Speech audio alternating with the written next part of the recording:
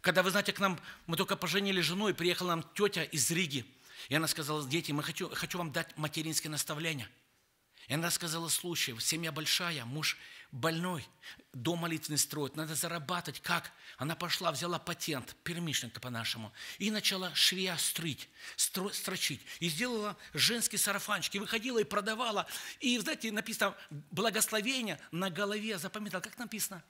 Продающих, братья, так написано, да. Поэтому она продавала, имела выручку на семью, на молитвенный дом. Но вы знаете, бизнес уста, у, вырастал, и она уже по ночам стала шить.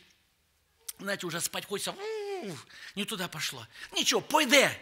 Приходит на базар продавать, а масло остановилось, не клюет, не идет. Она вот, а, а, такси, на другой базар, там лучше бы. И там и но она духовный человек. Она пришла домой, Господи, а, а, а что, в чем дело? Почему остановилось масло? Почему не, пок, не берут, не, не, не покупается? И Дух Святой говорит, дочь моя, запомни, все, что ты делаешь, делай от души, как для... Спасибо, как для Господа. И все, перестрочила, все брала, вышла на базар, продала на несколько ниже, и пошло и снова. Поэтому, друзья, вот так в нашей жизни. Мы давали обещание служить Богу доброй совести. И я с недаром сказал, мы начинаем служение наше миссионерское, знаете, в Иерусалиме, на работе, с родителями, когда мы служим, когда мы что-то кому-то даем, когда кому-то мы помогаем. Как это мы делаем? Просто так, да, маска, да ладно, чтобы остал. Или это делаю как для Господа.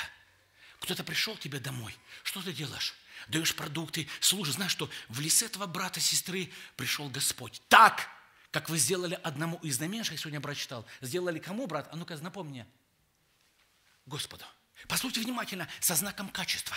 И если это не делаю, вы знаете, все, я отвернулся. Да, я нормальный, помытый, побритый, но я духовно уже non close. Я не близко. И так дальше. Вот это вот опасно.